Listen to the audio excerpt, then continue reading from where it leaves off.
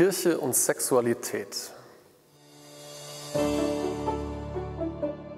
Das ist ein Thema, das eine ganz schwierige Geschichte hat, zumindest im Christentum.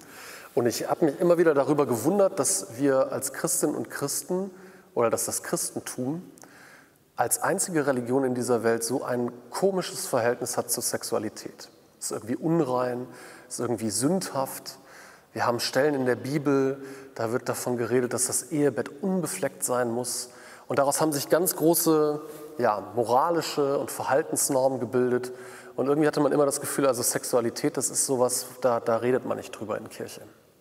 Und ich finde das schade, weil ich glaube, dass, zumindest sagt mir das mein Glaube, dass Sexualität etwas wahnsinnig Gutes ist. Gott hat das nicht einfach in die Welt gebracht, äh, ohne sich dabei etwas zu denken.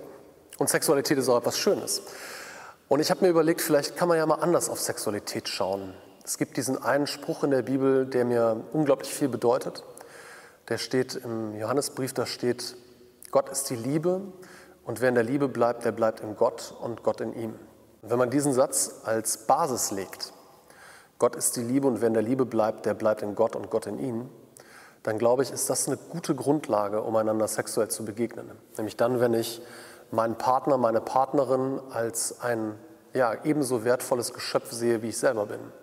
Wenn man sich mit Respekt begegnet und wenn man darauf achtet, dass es dem oder der anderen gut geht. Und dann kann man sich, glaube ich, auch sexuell vollkommen frei bewegen und all die Dinge machen, auf die man so gemeinsam Lust hat. Und dann ist sexuelle Sexualität auch was Schönes wenn es eben nicht so behaftet ist mit Sünde, mit Zwang, mit Unreinheit, sondern wenn wir es als etwas Natürliches sehen, das zum Leben dazugehört und das auch einfach, wenn wir ehrlich sind, ziemlich viel Spaß macht.